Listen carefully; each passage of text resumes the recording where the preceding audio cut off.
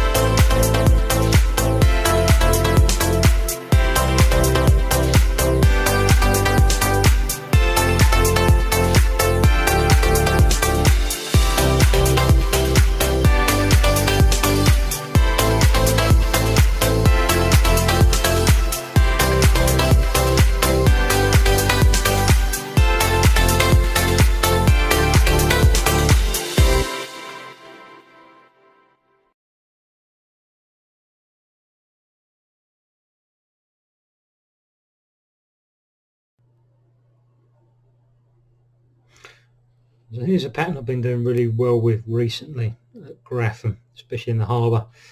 Uh, it's uh, basically a humongous booby.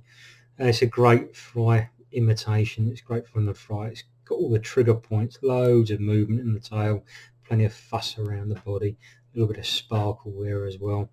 And I found it to be a very successful booby for me over the last few weeks. And as you've seen in my previous video, uh, they certainly liked it when we fished with them inside the harbour walls. Great for sink and draw methods. Uh, fairly big eyes on them as well, keep them nice and buoyant. So I think we'll just run through and give you a shot at a time. These just tell you exactly how I like to do them. Everybody's got their own variation, but as long as you get the movement and the fuss in there, I think that's what counts with these flies. So, size 8, medium wet, hook. I've already tied the booby eyes onto there. I like to shape my own booby eyes. Uh, that's for another video, but uh, it's just personal preference. Um, I'm just going to put on a little bit of white UTC. There it is, and 140. I like this. It's nice and thin, but it's lovely and strong. Great for tying lures and things with. Nice and reliable. Just run that down the hook. Just get that nice and secure and trim off bring it back up the hook. So first thing that goes in is that marabou tail, that white marabou tail. Uh, takes off a decent marabou feather. It's got a nice bit of feather on it, some a nice bit of length. You want to go along with this fly. The more movement, the better. So good, generous pinch of marabou on there.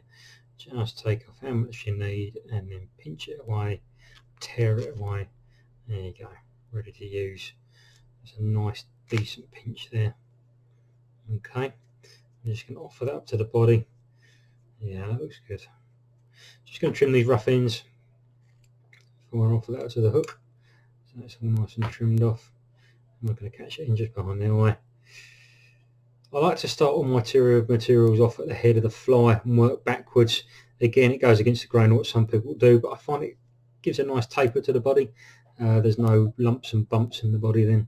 Um, it just tapers everything through nice and easily so as you can see, nice big marabou tail on there now, not holding back. Run the thread back up to the head and then you're ready to go. Then we want to put a little bit of flash in the tail here, not too much, but just enough to catch the eye of the fish. Um, so a couple of stretches, strips of pearl mylar uh, or something similar. And at this time of year, you can often pick up some real bargains. Look at that. It's Christmas decorations, but look how much pearl I've got on there. Tons and tons and tons of it. I picked that up. I think the packet was about £1.50. I've got three or four of them, and that is enough to last me an absolute lifetime. What a bargain. So, just for the pearl mylar, just going to half that half it again. It's just going to give us four little strands either side then, so we've got that halved and halved again. Okay, and then just offer it up to the body. Get that nice and even, just like that. Just put that round tracker underneath your thread. About halfway around that side.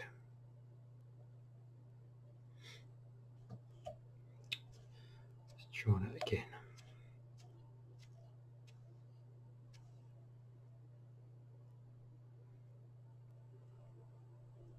halved and halved. My old eyes aren't what they should be.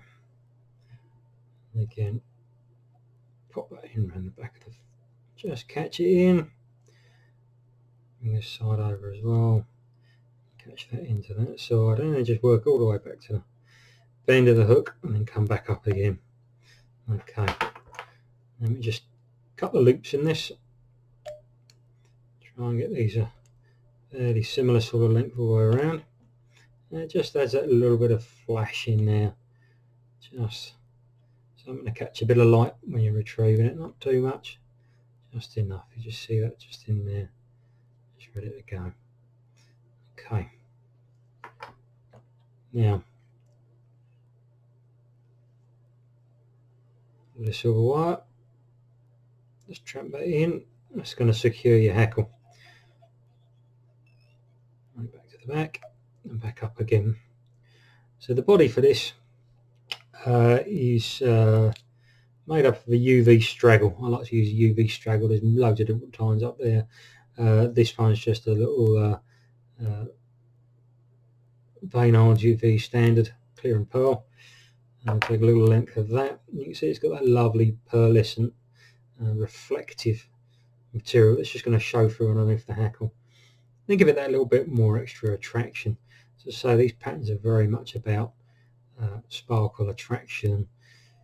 The sort of fish you're using, these four fry feeders, they're uh,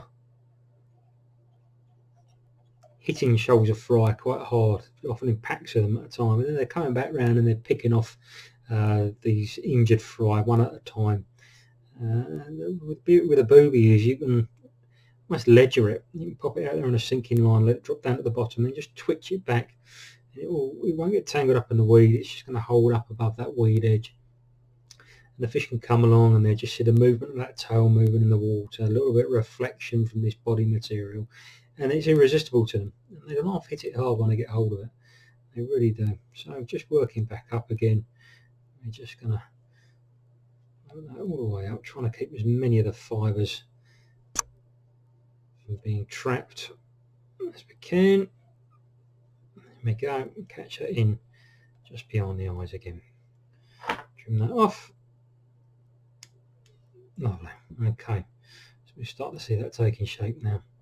See the eyes, see the tail, loads and loads of fuss, loads and loads of movement, and that's what this fly is all about, fuss and movement. Okay, so now next thing to do is to just to trap in the hackle. Uh, for that, we're using, I I can show you, grizzle hackle, cock saddle, nice long grizzle hackle. Let me just select a feather out of that. Okay, open it up a bit and then just peel it back just to expose the core there, just to expose the centre of the feather. Going to trap that just beyond the eye of the hook, just beyond the booby eyes. Just a few turns just to whip it in and keep it in there nice and secure. Just trim off this little bit of excess there. I'm just going to work that back down the hook. Nice open turns, you don't want loads of this. So once around the head and then nice big open turn, open turn. About four turns down the hook should do it. There we are. Oh, that nice bit of fuss.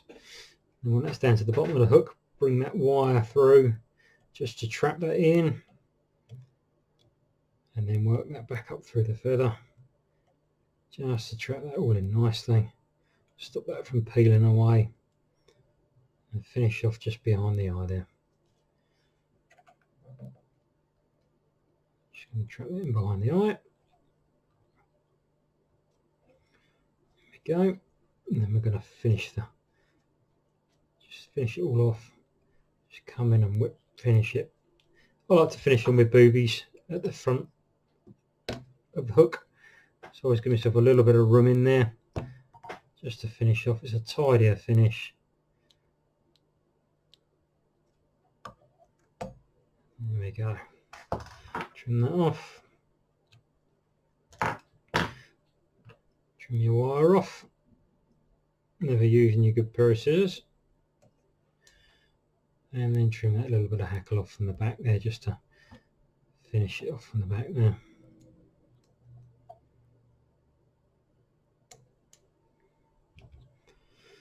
There we go. Humongous booby. Now let's just tidy this up a bit. Oh, what I mean is let's scruff it up a little bit. So with my Velcro brush, just a little bit of Velcro there.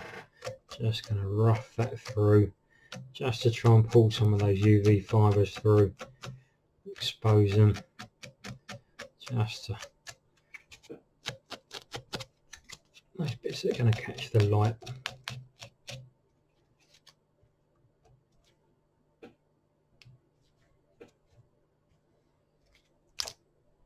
Beautiful. At that. Irresistible. A little bit of varnish just between the eyes on the side. Just to secure everything. Just a little bit in between the eyes. And below it as well. Just a little bit in there. That's it. Just to make sure everything's nice and secure and caught in.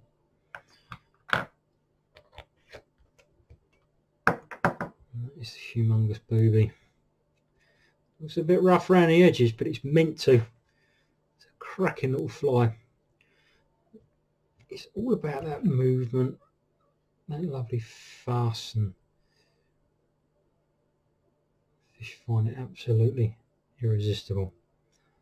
Tie one on, sink and draw it back, or figure of eight it back. And it works all winter. Um, it does tend to pick out some decent fish as well. There you go, humongous booby, cracking little fly.